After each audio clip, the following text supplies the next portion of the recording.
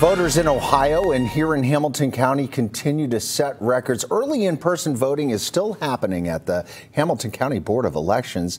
The average wait time this afternoon was about an hour. Elections workers say between five and 600 voted per hour today.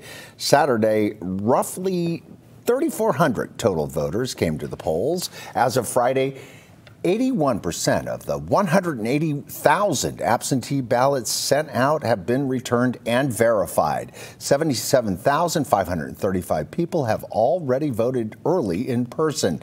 And today, even though it took an hour or so to vote, people there were just fine with that. It's a very good experience. I really enjoyed uh, waiting. It was about uh, 50 minutes I waited for. It was a good experience. They moved the lines through quick. A little cold outside. Nobody's arguing. Uh, that was my favorite thing about it.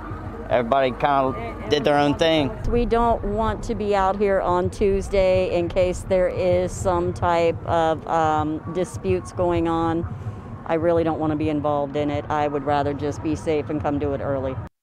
If you haven't voted yet, you can still do so by uh, voting tomorrow from 8 a.m. to 2 p.m. Then, of course, on Tuesday for Election Day, when big crowds are expected to be at polling locations as well.